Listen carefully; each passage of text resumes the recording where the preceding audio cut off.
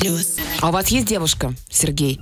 Да, у меня есть девушка, и у меня с ней очень большая разница в возрасте. Она вас старше? Я ее обожаю, и она также меня обожает. А, она вас младше или старше, Сергей?